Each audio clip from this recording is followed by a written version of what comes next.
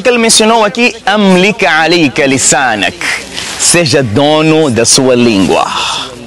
O que, que a gente aprende aqui? No ambiente que a gente está vivendo, todo mundo virou cientista. Todo mundo virou médico. Quantas receitas que você escuta? Subhanallah. Então é a altura de Amlika alayka lisana, controla a sua língua. Não anda a dar receitas a pessoas que não está correto. Uns até falam que não, nosso governo deve estar a esconder os números. Que autoridade você tem para falar sobre teu governo? Subhanallah, portanto, o profeta al-Islam, o que, que recomenda? Controla a sua língua. Tem a ver com o mundo que a gente está vivendo. As notícias, seja prudente ao falar. Então controla a sua, a sua língua. Ok, eu queria focar mais a segunda coisa. A primeira foi amlika alika lisana, controla a sua língua. A segunda coisa foi wal yasa'aka baytuk. Subhanallah. Que a tua casa seja suficiente para si. Subhanallah. Quer salvação? Stay indoors. Permaneça dentro das quatro paredes faça com que a sua casa consiga te acomodar. Segundo o conselho que eu agora irei repisar ainda mais. E o terceiro, então fique em casa, está aqui no hadith, fique em casa, que a sua casa seja suficiente para si. E a terceira coisa, o profeta salam falou, constitui salvação, é hora de você deitar lágrimas pelo passado. É lá onde eu passei a minha juventude, é lá onde é que eu passei os, os, meus dias, ela onde que eu fui aquela noite, vai deitando lágrimas, fazendo essas três coisas, inshallah iremos acabar com essa pandemia.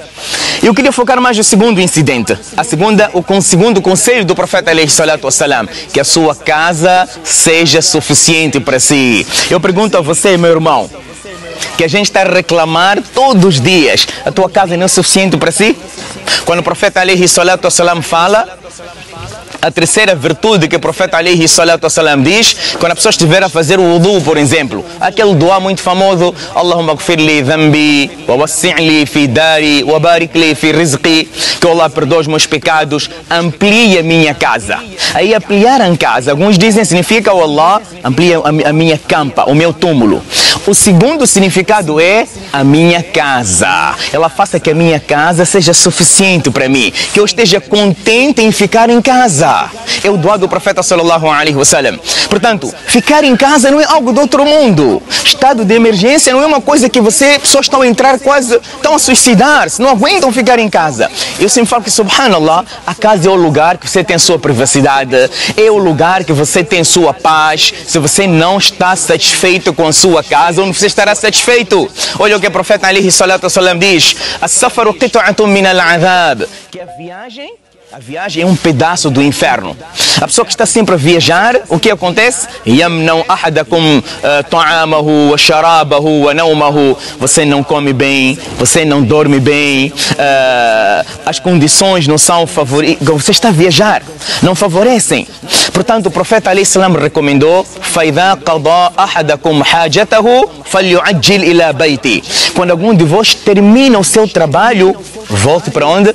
Volte para casa, regresse para casa. O que, o que a gente aprende? Que por mais que você esteja em viagem, e este hadith, subhanallah, mostra mais uma vez a profecia do Habib Muhammad.